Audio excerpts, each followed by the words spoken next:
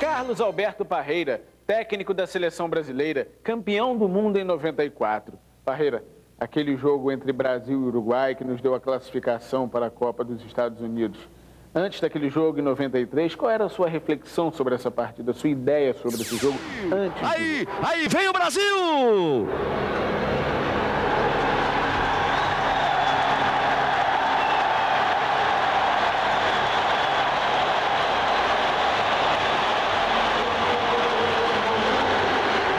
Imagem bonita da seleção brasileira entrando em campo e parece que o torcedor entra junto com ela.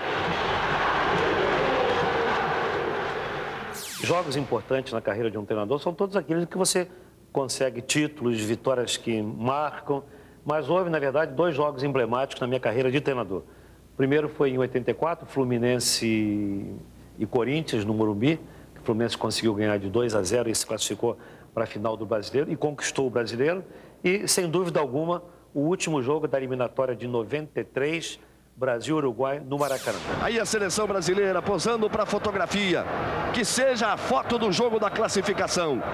Daqui a pouco a presença do Uruguai. E os gritos de Brasil, Brasil serão substituídos, não tenho dúvida nenhuma, por uma vaia ensurdecedora. O torcedor continua fazendo a sua festa. O primeiro jogo em Montevidéu tinha sido uma guerra. O time uruguaio, Parreira, era um time violento? Foi, foi uma guerra porque o Brasil não ganha em Montevidéu, há, me parece, há 25, 27 anos. E aquele jogo era importantíssimo. Nós estávamos numa situação complicada naquele momento da eliminatória, o próprio Uruguai também, e quem perdesse ali ia ficar numa situação complicadíssima. Então o jogo foi uma guerra. Além da qualidade técnica, da técnica, foi um jogo muito violento, muito marcado, muitas faltas, e o Brasil conseguiu sair de lá com um ponto que naquele momento foi razoável, foi bom.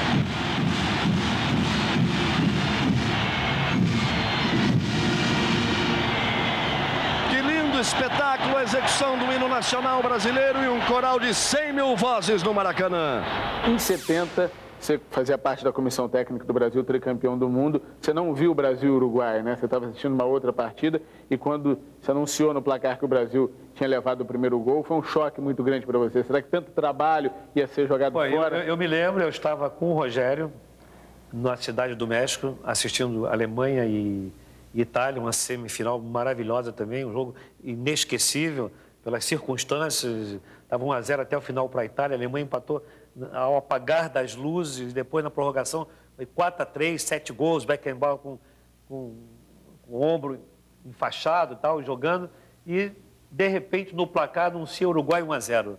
Eu me lembro, eu tinha 27 anos, era muito jovem e evidentemente vibrando com aquilo tudo, que eu cheguei a chorar naquele momento, pensando caramba, nós viemos tão longe, trabalhamos tanto, cinco meses, vamos ser eliminados mais uma vez pelo Uruguai. E depois a alegria voltou, porque o placar anunciou 1 a 1 2 a 1 e 3 a 1 resultado final. O técnico Carlos Alberto Parreira, e você vê que é uma alteração de numeração. O Zinho joga com a 9, a camisa que era do Miller, porque o Romário pediu para jogar com a 11, porque ele disse que foi com a 11 que ele fez o gol no Uruguai em 89 e decidiu a Copa América. Ele quer repetir a dose com o mesmo número e com a mesma camisa. Esse sentimento, esse, essa mesma tristeza, será que depois de tanto trabalho, um trabalho tão bem feito, a gente vai ser eliminado ou a gente não vai para a Copa? Isso passou pela sua cabeça é, antes da partida contra o Uruguai? Não, não, eu acho que eu não consegui pensar em nenhum momento negativamente. Uhum.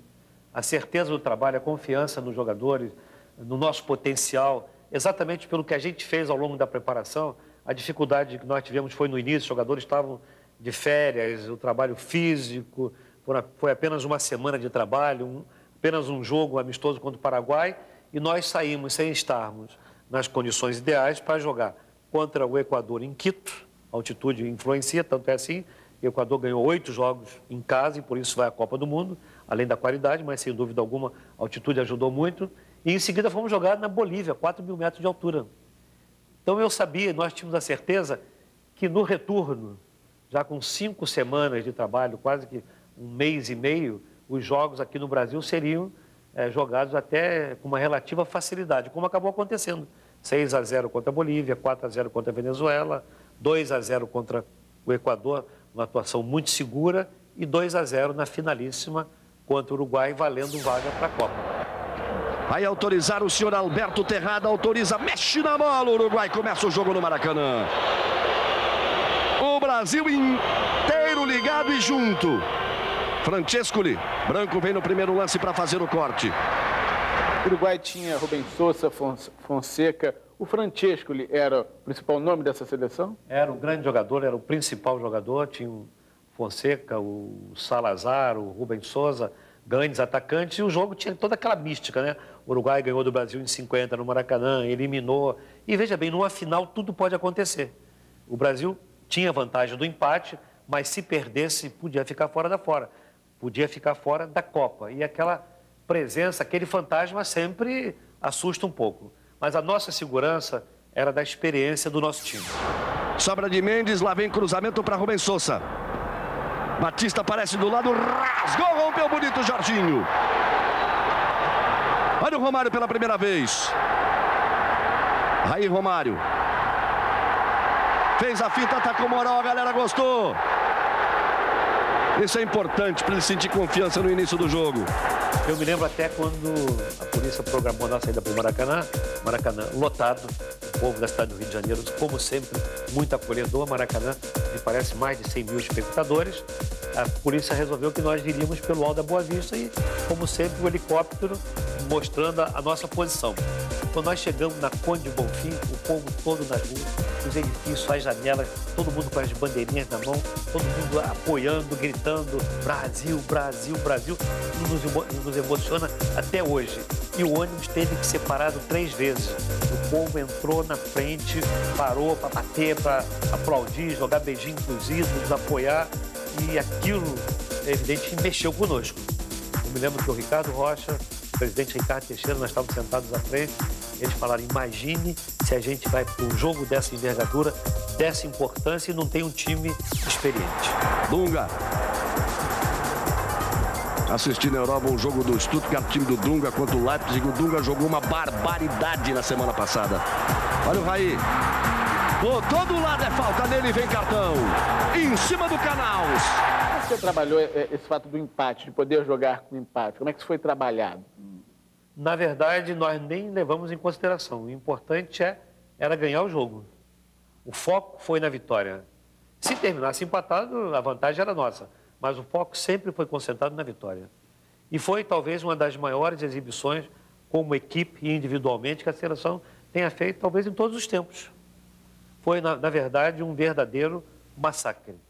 Um time uruguai que a gente conhece, a garra, a determinação, a vontade, vale Copa do Mundo, vai para vai tudo ou nada.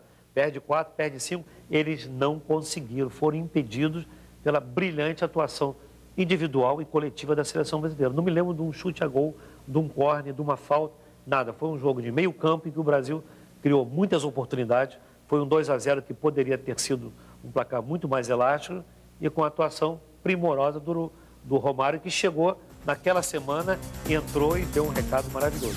É a irreverência do Romário a que o Pelé se referia. Fala para ele de novo. Olha o Romário aí. Tá cheio de moral. Aí bateu pro gol. Seguro pequeno que eu quero ver.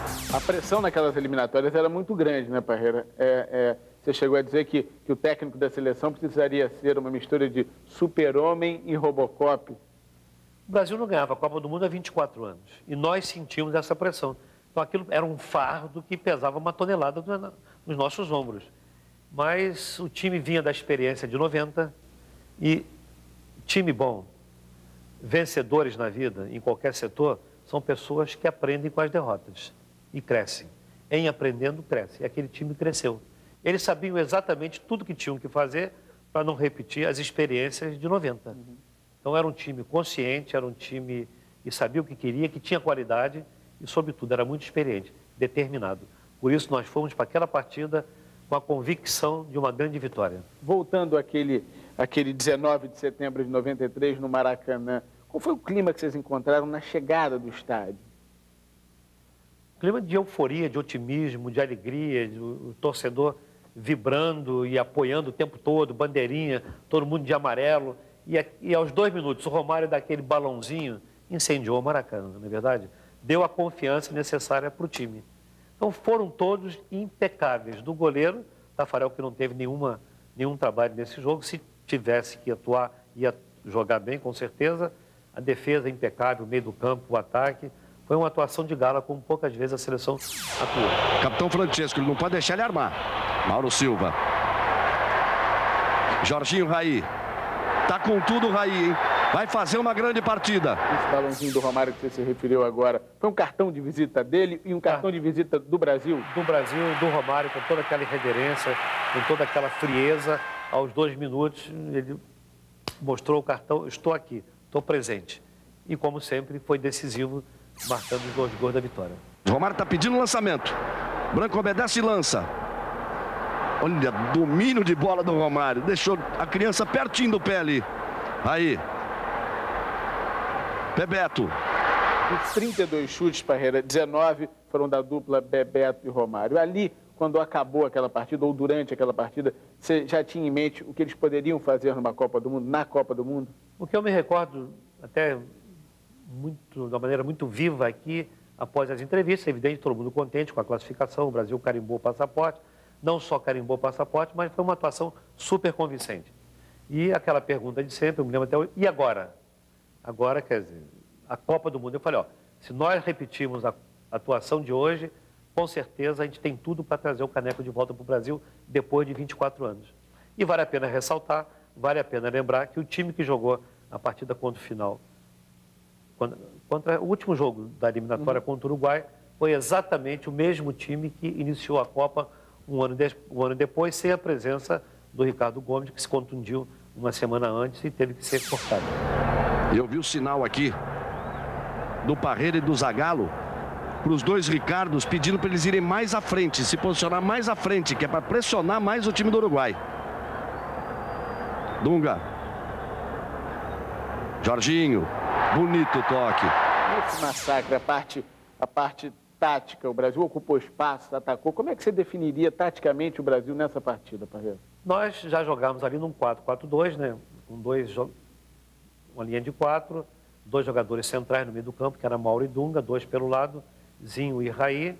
O Mazinho ainda não, estava, na, estava na reserva, não tinha jogado, e o Romário à frente. Então, o time apertou, adiantou a marcação, ocupou os espaços, jogou no, no campo do Uruguai, dentro do campo do Uruguai, alugamos meio campo e, com a bola, criamos jogadas com o Branco, com o Jorginho, pelo meio, principalmente todas elas muito bem concluídas, sempre com a participação da dupla, que era uma dupla infernal, e que se completava muito bem, Bebeto e Romário. Benzinho, olha o Romário, tocou para ele, tentou tabela com o Bebeto, botou na frente, se deram bem para Romário. Tem Raí, tem Jorginho partindo pela direita. Saiu para o lado errado, enfeitou demais. Raí, conserta para Jorginho. Olha o Brasil chegando agora dá. Bebeto, o toque vai por baixo, tenta. Chegava tambémzinho em cima da linha, tira o time do Uruguai. Pressão brasileira. Branco, Mauro Silva, toque na frente muito comprido para o Branco. Teve a chance com Romário, teve a chance com Bebeto por cima e por baixo. Uruguai tirou em cima da linha. Olha o replay para você. Romário cabeceou, Bebeto por cima. Fez falta no goleiro ali, o juiz deixou seguir. Você lembra da tua preleção, Parreira? Em linhas gerais? Não, não lembro não. não. Lembro só de passar otimismo, segurança e de ter dito durante a, durante a palestra que o Brasil nunca tinha ficado fora de uma Copa do Mundo e não seria dessa vez dentro de casa contra o Uruguai. Acredita no lance. Mauro Silva tem Dunga. Dunga pode virar com o Jorginho do outro lado. No meio de dois se complica, deu sorte, sobrou para Raí. Escorregou, tropeçou na bola. Jorginho. Romário na área para ele. Passou à frente de Romário. Olha só, o Jorginho viu, meteu, Romário se enfiou, se esticou e não achou. Aos 11 minutos o Branco chuta para fora, chuta forte, aos 14 o Jorginho faz um bom cruzamento. Qual era a função dos laterais nesse esquema tático que você nos colocou agora? Como jogos laterais no Brasil, com toda a liberdade de atuar e até pela presença de Mauro Dunga, poderiam subir os dois até ao mesmo tempo, sem nenhuma restrição. O Jorginho sempre foi um jogador, atuava no meio, atuava de lateral, o Branco sempre foi muito desenvolto, sempre jogou com muita, sempre marcou bem, mas sempre saiu bem com a bola, apoiou sempre o ataque, jogando pelos lados. Entrando em diagonal pelo meio. Então, com liberdade total para jogar o futebol deles, sem nenhuma restrição. Jorginho vai caprichar na cobrança, Romário na área também, Raí, vem bola, Ricardo, olha a chance, Branco, bateu bonito, Siboldi cai para fazer a defesa. Para aos três minutos, o Raí sofre uma falta, o Branco chuta na barreira, aos seis o Bebeto cruza e o Romário chega atrasado. A seleção entrou em campo apenas para se classificar ou para calar a boca dos críticos? Não, a seleção entrou em campo para se, classificar com uma grande vitória. Uhum. Agora, se alertada, se tivesse algum time que, tinha que estar desesperado em campo, era o Uruguai. E com o empate estava fora da Copa.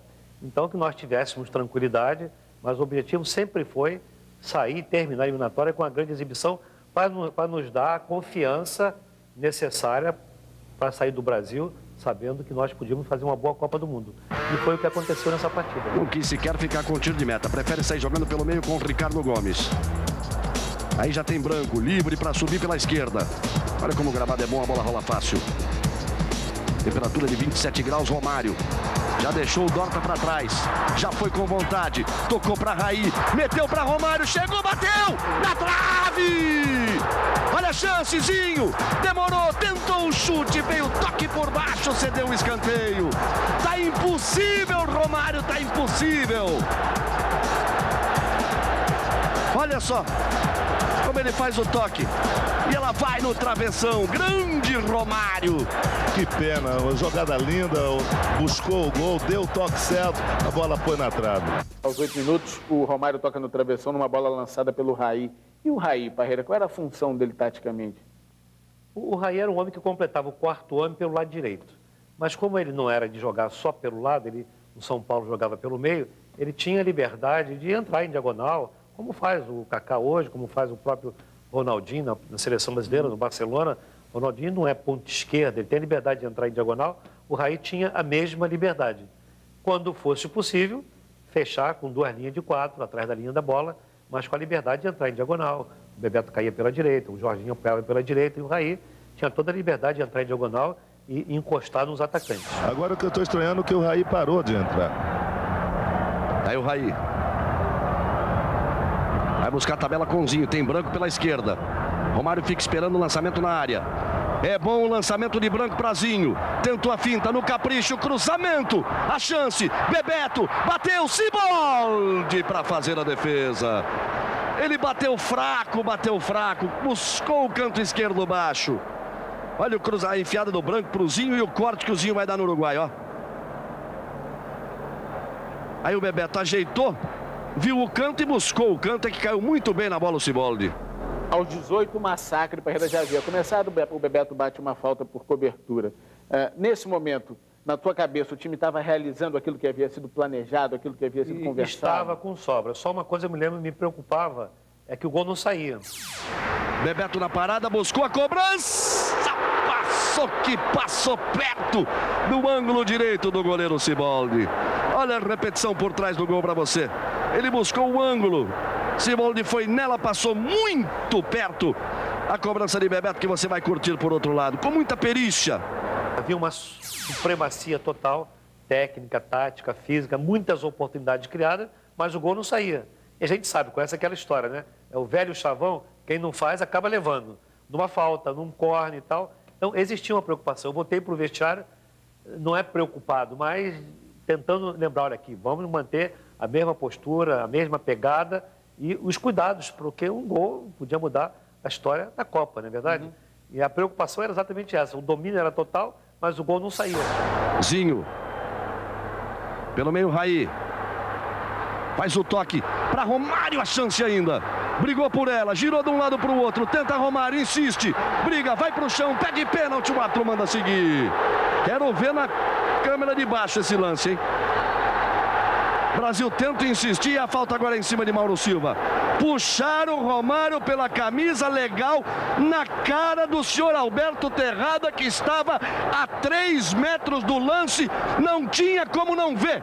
Ele estava a 3 metros de frente para o lance. Não deu porque não quis, Arnaldo. A imagem foi clara. O Herrera, número 2, puxou com a mão direita a camisa do Romário. Pênalti claro. O juiz estava em cima do lance e não marcou porque não quis. Voltando um pouquinho, aos 36, o Jorginho chuta uma bola com perigo. Os laterais continuavam avançando. A garantia do seu esquema era o Mauro Silva e o Dunga? Nós podíamos proporcionar essa liberdade aos laterais, isso foi feito até na Copa, porque nós tínhamos os dois zagueiros e mais o Mauro que ficavam ali de sobreaviso. O Mauro era o, formava o tripé na frente dos, dos zagueiros, é o que era o primeiro socorro, uhum. exatamente para fazer as coberturas aos laterais. Se tivesse que sair um zagueiro na cobertura, o Mauro entrava no meio da zaga, ou se precisasse sair de enquanto ele ia, de enquanto a quem viesse com a bola, ficavam os dois zagueiros, e o Dunga tinha liberdade de encostar fazer a ligação entre o meio do campo e os homens da frente. Dunga rasga, Rubens Souza mais esperto. Mauro Silva toma ali à frente. Faz tempo que o Romário não pega na bola. Aí, o Canaps não larga mais o Romário número 3. Dunga. O lançamento agora é para o Romário. Grande lançamento do Dunga. Quem disse que ele não sabia lançar? Vai, Romário, entorta esse. Faz a finta, Romário. Canaps, insiste, Romário. Ainda ele, grande lance, bateu na rede pelo lado de fora. Fila, Romário. Foi na finta, na trombada, na vontade. A câmera pelo outro lado, invertendo o eixo para você curtir melhor. Ela passou junto ao pé da trave e foi na rede pelo lado de fora. Então o Dunga saía um pouco mais e o Mauro tinha a responsabilidade de exercer essa função de ficar junto com os zagueiros, exatamente para dar liberdade simultânea aos dois laterais. Romário está ali enfiado na entrada da área. Mauro Silva vai aparecer. Dunga mandou o branco abrir pela esquerda, ele obedeceu e recebeu. Todo fechado o time uruguaio. Romário ajeitou, fez a finta. Que lance, Romário! Bateu na chegada do zagueiro Canapques. Mas é uma velocidade impressionante do Romário. Olha como ele domina. Quando o zagueiro vem, já foi no meio das canetas do uruguaio. Aí está a diferença do, do, do, grande jogador, a diferença do craque. Você viu que quando ele recebeu a bola, ele já sabia o que ia fazer. Aos 37, o Romário dribla três adversários, está para fora. O Bebeto também tem mais uma oportunidade. Naquele intervalo, o Brasil vai para o intervalo. Você lembra o que foi falado naquele intervalo, o que você passou para os jogadores? Foi exatamente isso, a preocupação de você ser, de você ser muito superior e não estar materializado no placar essa vantagem. Caprichosinho, Ricardo não acha. O Souza vem buscar. A chance brasileira. Bonito, Jorginho arriscou, bateu. Siboldi faz a defesa e mete para fora. Se desespera, leva as mãos à cabeça, Jorginho. Olha, ele bateu por entre as pernas. Siboldi faz grande defesa. Não existia, no meu caso, eu não exteriorizei, é evidente. Estava preocupado, mas, mas é claro que eu queria e pedia para a gente fazer o primeiro gol. Vamos aproveitar toda oportunidade. São cinco brasileiros na área, dez uruguaios. Ricardo saiu dela, Romário tenta. Insiste Ricardo. Bebeto bonito, Ciboldi faz a defesa. Na perna esquerda explodiu a bomba de Bebeto. Um chute difícil de primeira. Ciboldi foi lá para mais uma monumental defesa do goleiro uruguaio disse que convocou o Romário no momento certo. Uh, uh, foi o momento certo? Ele não teria que ser convocado antes? Seria, mas vocês não permitiram, né? Criaram uma confusão que não existiu. Posição legal, saiu o goleiro, fez a fita, lá vai Romário,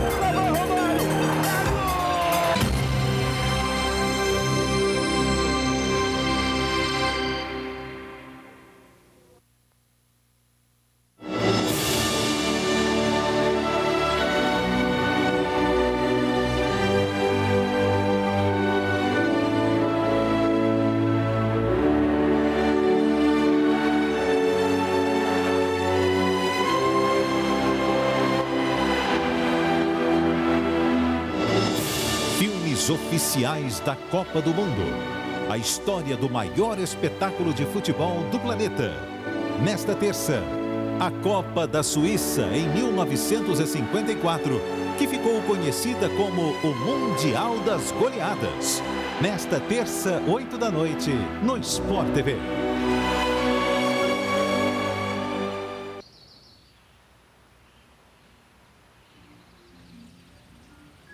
TIM acredita que para se comunicar, as pessoas precisam viver sem fronteiras.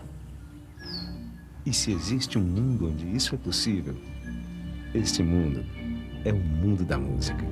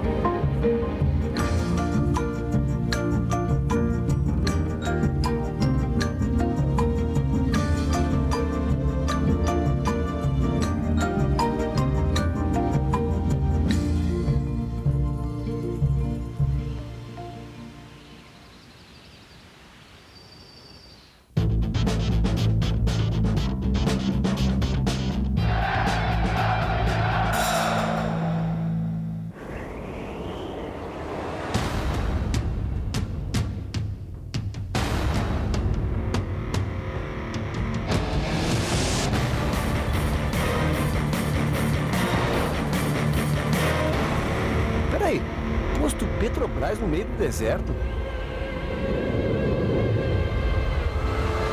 Ah, agora sim, tudo normal. Petrobras, patrocinadora oficial da equipe Petrobras no Brax.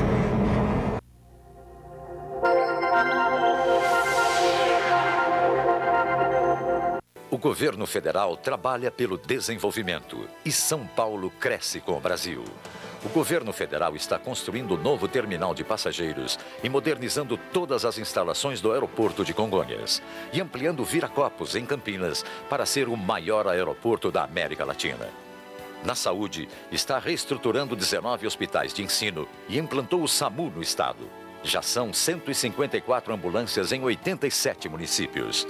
Na educação, 47 mil adultos foram alfabetizados em São Paulo em 2005. E o ProUni criou mais de 63 mil bolsas para jovens que antes não tinham acesso à universidade. O governo federal concluiu 270 quilômetros de duplicação da rodovia BR-116, que liga São Paulo a Curitiba. Antiga reivindicação dos paulistas, essa obra garante viagens mais seguras e mais desenvolvimento para o Estado. Onde tem essa marca, tem governo federal.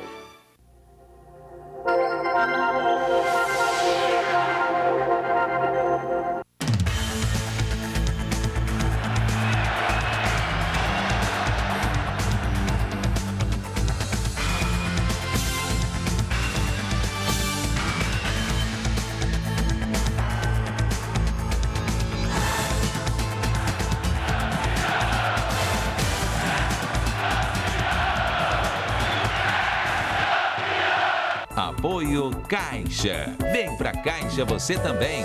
Vem! Abrir sorrisos é a vocação da Caixa há 145 anos.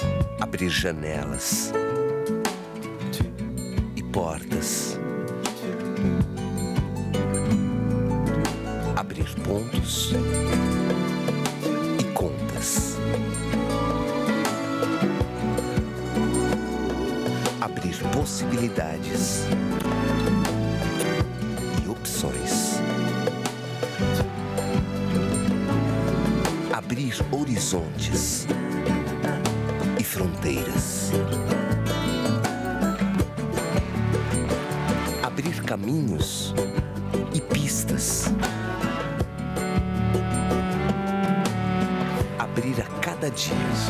você e todos os brasileiros possam abrir sempre novos sorrisos.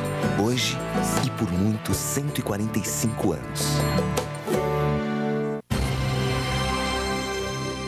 No segundo tempo, logo no primeiro minuto, o Zinho, numa cobrança de escanteio, cruza e o Ricardo Gomes cabeceia. Zinho vai no capricho para cobrança. Primeiro ataque brasileiro no segundo tempo, caprichosinho, cruzamento, toque de cabeça, Siboldi! O Ricardão subiu, meteu a cabeça, operou o milagre o Siboldi. Olha só por trás do gol como se estica todo o goleiro uruguaio. O Zinho foi um jogador muito criticado ao longo de toda a trajetória. Por que mantê-lo no time, Parreira? Veja bem, há jogadores táticos, há jogadores técnicos, há jogadores que decidem. Eu acho que um time de futebol, essa complementação de estilos é que faz com que o time renda como um todo. Uhum. Então, o trabalho de equipe é exatamente isso, é você fazer essa complementação de estilos. Até jogadores de estilos diferentes formarem uma grande equipe. Jorginho briga. Dunga dá um bico na bola. Ela sai pela linha de fundo, é só tiro de meta. Os brasileiros ficaram pedindo falta. O Dunga deu um bico, deu uma injeção na bola. Quando sempre o exemplo do Galego no time campeão da Argentina em 78. O Galego era um jogador tipo Mauro Silva, não passava do meio do campo. Ele complementava perfeitamente, equilibrava aquele time que foi campeão do mundo. Abre a caixa de ferramentas ali o time do Uruguai. Olha o Dorta por trás pegando o Zinho. É a mesma coisa, tecnicamente, taticamente, ele preenchia uma função muito importante. Ele dava a necessária liberdade para que o branco pudesse apoiar, ele fechava, voltava, fechava o setor. A hora que o Jorginho saía no ataque, ele fechava por dentro. E o Zinho era um jogador habilidoso com a bola nos pés. Ele dá sequência, ele mantém a posse da bola. O Zinho foi um dos jogadores mais exitosos do futebol brasileiro. Me parece quatro ou cinco vezes campeão brasileiro. Em todas as equipes que ele passou, ele foi campeão dos jogadores mais exitosos do futebol brasileiro e campeão do mundo. O Brasil tenta mais uma, Zinho faz a festa, tirou para dançar o Mendes. Aí o Zinho, por entre as pernas do Mendes. Chamou o Mendes para dançar, botou por entre as pernas do lateral uruguaio e recebeu a falta. E ele foi muito criticado, era muito criticado, exatamente porque ele não tinha. Veja bem, ele não era o cracão do time, não era a grande figura técnica, o habilidosa, mas ele tinha uma função tática que foi importante. Eu me lembro que havia uma pressão enorme, eu era muito cobrado. Ele era chamado de eh, enceradeira. enceradeira, porque ele ficava muito com a bola e tal. Mas nós sabíamos a importância dele para a equipe. E chegou um momento que essa pressão cresceu tanto, eu não sei se chegou a abalar ou não, mas eu fui no quarto, fiz questão, ele dividiu o quarto com o Bebeto, estavam dois presentes. Eu falei, ô cara, quem está escalando você sou eu. Se você tiver que sair, vai sair por mim e não por pressões externas. Então joga sossegado. Zinho. Branco. A enfiada com Zinho. É boa. Cruzamento. Não chegou pro Bebeto, tirou Gutierrez. Vamos, Mauro Silva. Vamos nela. Briga Mauro Silva pela bola. Sobra de Jorginho. Para Romário. Tabela. Com Raí. Tentou Romário. Agora vai. Defende-se. Balde. Romário perdeu o gol. Cara cara com o goleiro uruguaio. Voltando ao Romário, depois daquela apresentação de gala do Romário no Maracanã, você teve a certeza de que o Brasil estava pronto para a Copa? Certeza absoluta. Tanto foi assim que, de junho até praticamente durante um ano, nós não jogamos muitas vezes, jogamos três ou quatro amistosos. O mais importante desses amistosos foi contra a Argentina, em Recife. Nós quebramos aí um, um período, um jejum de cinco ou seis anos que o Brasil não vencia a Argentina, com a mesma equipe, com a mesma formação tática, com a mesma maneira de jogar, aquilo, e o time argentino era muito bom, e só nos deu a confirmação de que, na verdade, o time para começar a Copa era aquele que havia conquistado a classificação contra o Uruguai. Vai tomar o cartão amarelo branco, porque ele não quis perder a viagem, não quis permitir o contra-ataque, dividiu o Francesco ali no meio. Veja na repetição, confira comigo a falta do branco. Foi falta para cartão, bem aplicado o cartão por parte do juiz. Por outro branco. ângulo aí, a entrada do branco em cima do Francesco. Você sabe quando foi uh, que o Uruguai deu o primeiro chute a gol nessa partida? Não sei nem se eles chegaram a dar chute a gol. 17 do segundo tempo. Com certeza não foi no gol, foi para fora. Rafael quer quatro na barreira. O Brasil volta todo, à exceção de Romário. A bola batida longe do gol de Tafarel. Arriscou o Batista o primeiro chute a gol do time do Uruguai. Hein? Tafarel não fez nenhuma defesa. Não foi, na verdade, foi um massacre. Num jogo dessa importância, até que fosse um time de menor expressão, de menor qualidade técnica, é, é, tem que ir para tudo ou nada, vale vaga para a Copa. Mas a supremacia, a segurança da equipe brasileira eram tão grandes que não permitiram ao Uruguai esboçar qualquer tipo de reação. Aí o Dunga. Gira bem a jogada com o Jorginho, ele pede a presença do Bebeto. Lançou Bebeto, está em boa posição. Romário na área, Raí também. Caprichou Bebeto, olha a chance, olha o gol! Olha o gol!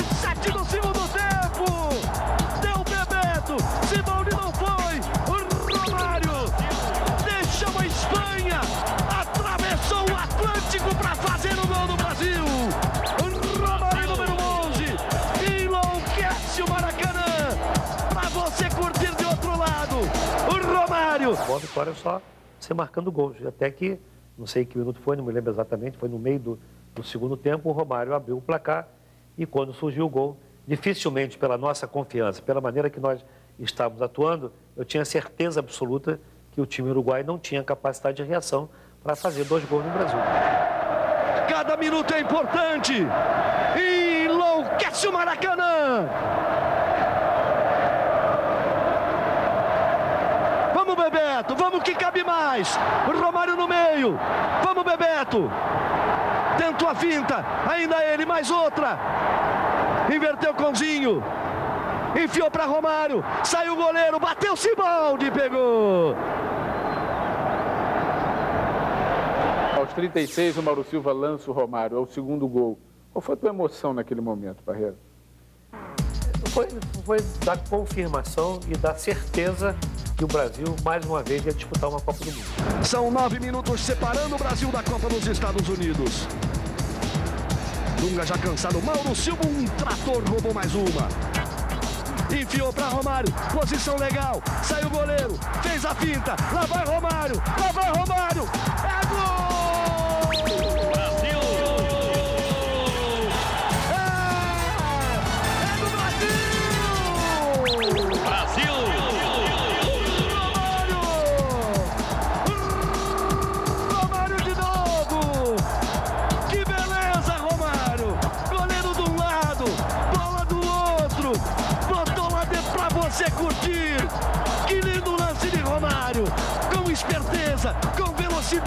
Com malícia, com malandragem. Botou lá dentro. Saiu pro abraço.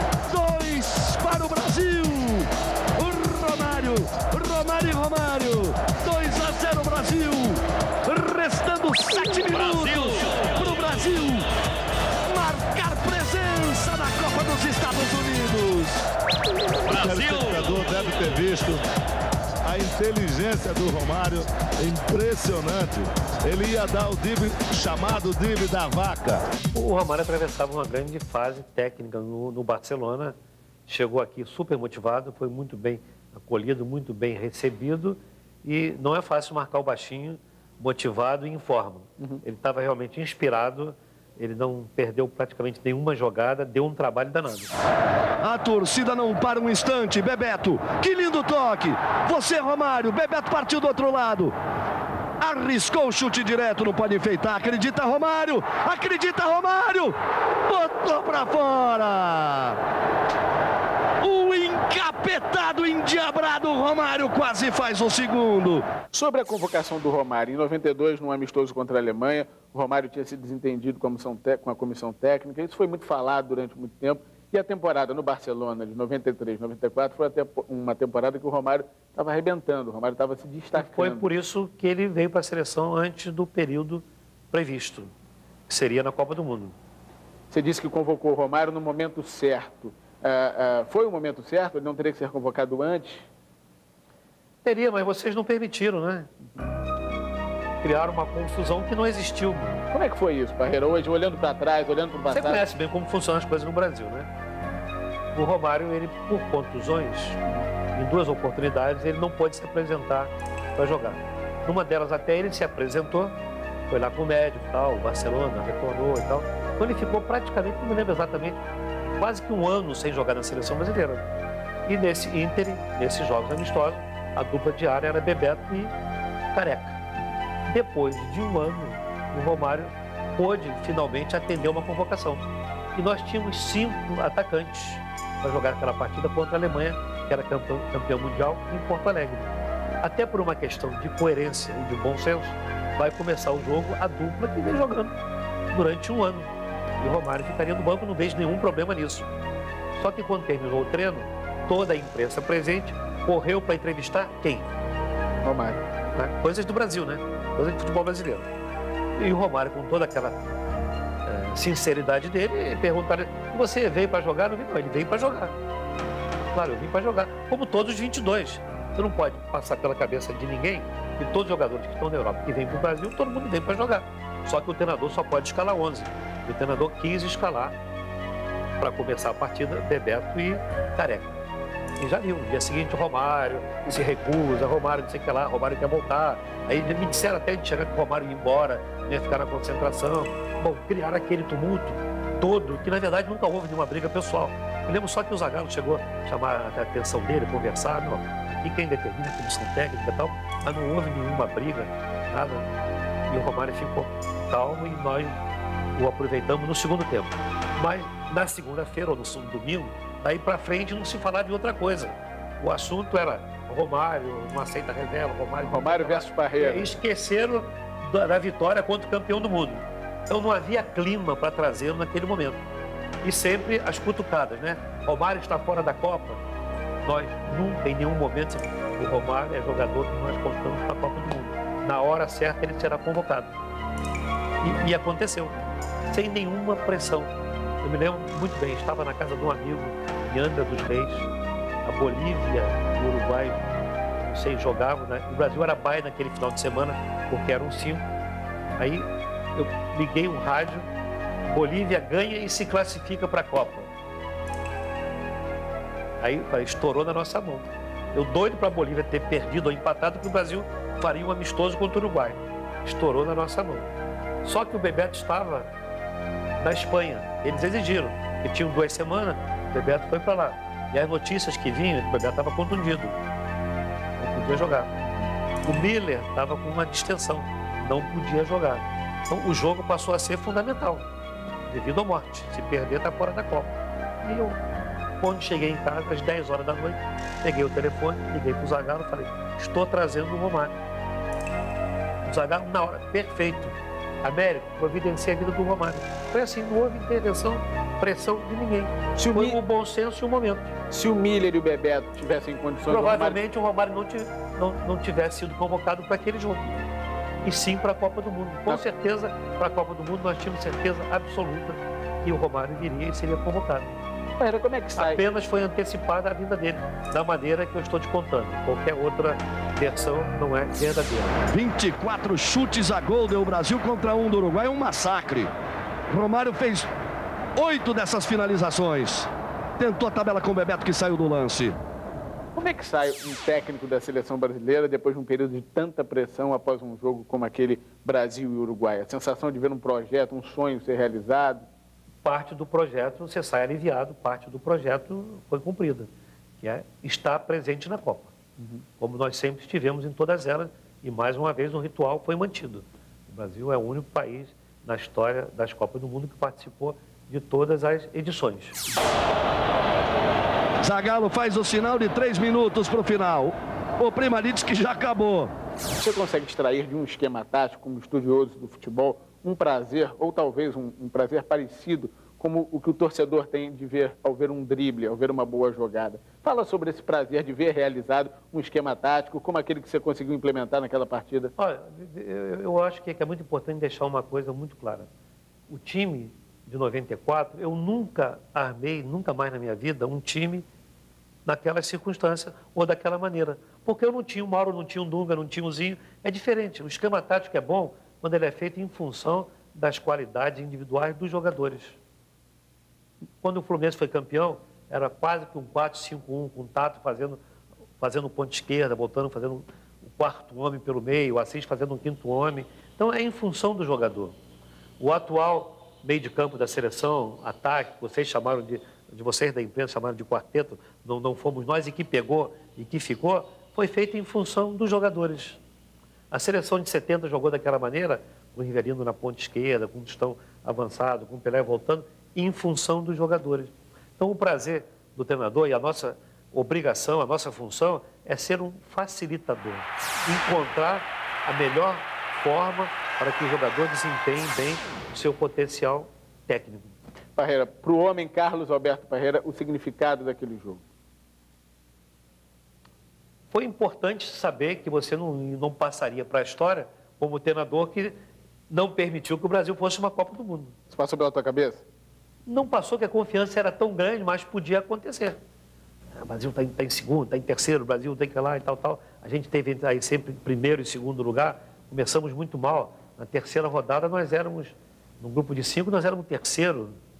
O empate contra o Equador e a derrota contra a Bolívia, Aí a vitória contra a Venezuela de 6 a 0 nos colocou em segundo lugar e tal. Então a gente foi oscilando até o final entre primeiro e, e segundo. Então poderia acontecer. Isso é uma preocupação para quem dirige a seleção brasileira. Eu acho que é uma marca que nenhum treinador gostaria de levar. treinador que não permitiu ou que esteve junto com o Brasil que não foi à Copa do Mundo. E mais uma vez nós garimbamos o passaporte e estamos na Copa de 2006. É o Brasil que vai para a Copa dos Estados Unidos. Vai continuar a ser o único país a participar de todas as Copas do Mundo. A assimilação tática de um grupo está intimamente ligada com o espírito coletivo? O espírito coletivo é importante, que o jogador esteja propenso e saber da importância dele individualmente, mas tudo voltado para a equipe. Então, o trabalho tem que ser voltado para a equipe. Quando a equipe está armada, quando todos pensam coletivamente, as individualidades aparecem.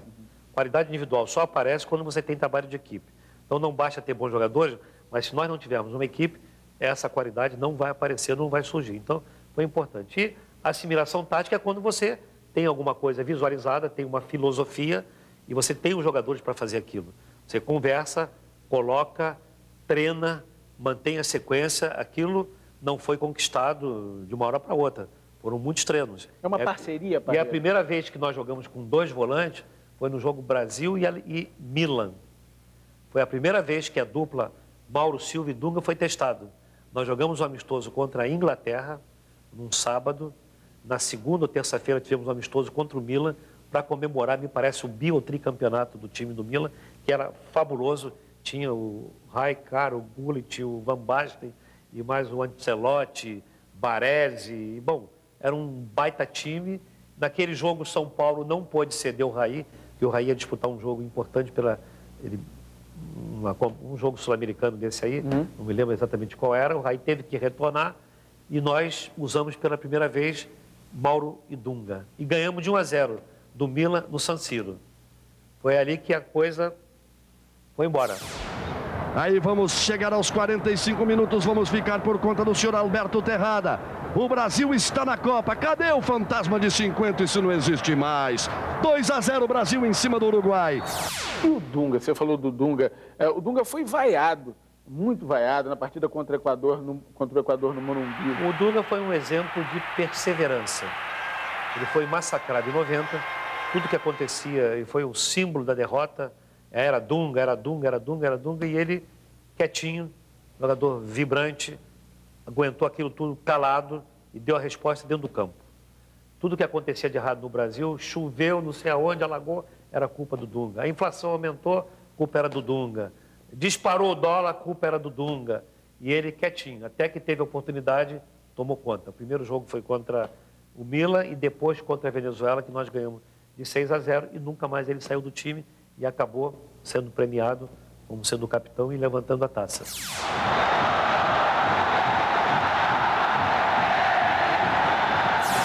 Queria que você relembrasse, você contou pra gente, que você relembrasse a passagem em que os jogadores perguntaram a você se você ia pedir demissão, houve um boato. Não, não, depois que, como a pressão era muito grande, aquele grupo era muito consciente da importância. Eu dizia para você da dificuldade que nós tivemos no início da competição, uhum. que nós sabíamos, os jogadores estavam de férias, nós tivemos apenas oito ou nove dias de treinamento, que não foi o bastante para o prima da condição física necessária, e eu até consegui espremendo um pouquinho aí, sem nem ter tempo, um amistoso contra o Uruguai, contra, perdão, contra o Paraguai, que nós jogamos em São Januário e ganhamos de 2 a 0, e fomos jogar contra o, Quito, contra o Equador em Quito, a 2.900 metros, e vocês viram nessa eliminatória, o Equador ganhou oito jogos em casa, na altitude, e em seguida fomos pegar a Bolívia, com um time despreparado fisicamente, sem um ritmo ideal para jogar nesses locais. Então a dificuldade foi muito grande. Musculatura dura. Musculatura dura, peso e sem a condição física, sem o ritmo de jogo necessário. E uma das armas para você enfrentar a altitude é exatamente estar bem fisicamente. O time não estava ainda. E foi ganhando essa condição física ao longo da competição. Depois jogamos contra o, a, Venezuela, ganhamos 6 a 0. Empatamos com o Uruguai numa batalha lá no Centenário. E fizemos, aí teve uma interrupção de 15 dias, porque nós éramos BAI. Como eram cinco em cada grupo, naquele final de semana o Brasil não jogava. E fizemos um amistoso contra a equipe mexicana, não sei porquê, porque cargas d'água, imprensa, tal, empatamos de um a um e tal. Parreira vai pedir demissão, Parreira vai embora. Voltamos para a Grande Acomari e os jogadores, chegamos lá às três horas da manhã, lanchamos e ninguém saiu. Nós percebemos que todos ficaram lá. E quando nós íamos levantar, me parece que foi o Ricardo Rocha, Raí e Dunga, professor, fica aí. Que negócio é esse de sair? Agora que vem a sopa do mel, agora que nós vamos ganhar com facilidade todos os jogos aqui no Brasil, que negócio? Falei, ninguém falou em sair, isso é invencioníssimo. E foi, na verdade, foi. Não sei de onde surgiu esse boato. E aquilo mostrou mais uma vez que o grupo estava consciente, fechado, unido e dentro do campo eles deram a resposta. Foram quatro vitórias incontestáveis aqui no Brasil. Fizemos seis, quatro, doze, 14 gols, não sofremos nenhum. E nos deu a confiança de que nós tínhamos tudo para fazer uma grande Copa e voltarmos como campeões do mundo. Pela posição da cobrança aí, vai ir com a bandeira brasileira. Os jogadores do Brasil esperando para comemorar a classificação. Estão classificados para a Copa dos Estados Unidos. E terminou! Terminou! O Brasil está classificado para a Copa do Mundo de 94! Brasil! Para a gente terminar a carreira intimamente, alguma impressão sobre aquele jogo Brasil-Uruguai que você nunca tinha dito? Há mais alguma coisa intimamente? Não, não, a alegria no final, principalmente até hoje, se você me perguntar, um dos jogos mais importantes como treinador, até pela importância do jogo em si, pela atuação da equipe, esse jogo do Uruguai, sem dúvida alguma, vai estar sempre presente nas minhas memórias.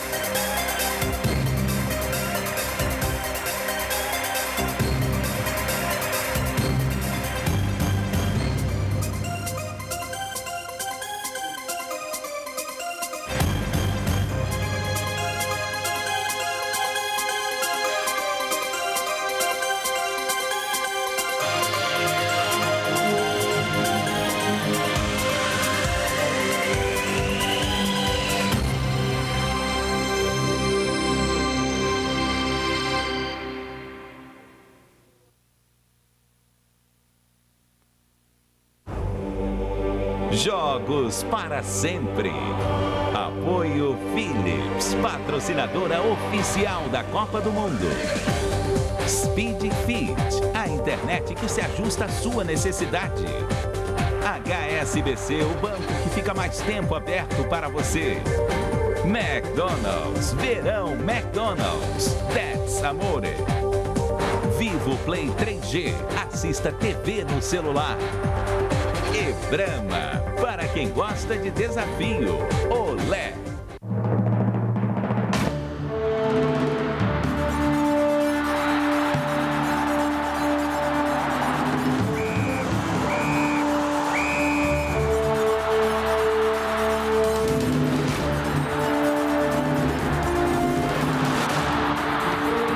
Jogos para sempre. No próximo programa, relembre Brasil e Argentina na Copa de 90. Com a visão de Careca, centroavante da seleção brasileira. Nesta terça, nove e meia da noite, no Sport TV. Apoio Philips, patrocinadora oficial da Copa do Mundo. Speed Fit, a internet que se ajusta à sua necessidade. HSBC, o banco que fica mais tempo aberto para você. McDonald's, verão McDonald's, That's Amore. Vivo Play 3G, assista TV no celular. E Brahma, para quem gosta de desafio. Olé!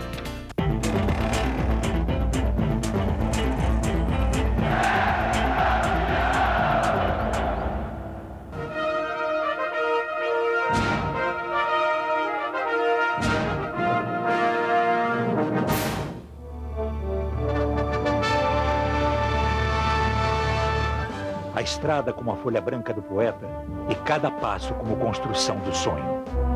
Traço da letra que se completa no andar do corpo que corre depressa, atrás da coroa e à frente do desengano. Pode ser meio poético o trânsito das emoções de Vanderlei. Pode ser sofrimento intenso da história recontada. E na Grécia revisitada, a realidade derrotou a mitologia. Em segundos, misturou-se a dor ao desespero para achar no anjo de carne e osso outro coração que devolvesse ao do brasileiro a inspiração e a esperança.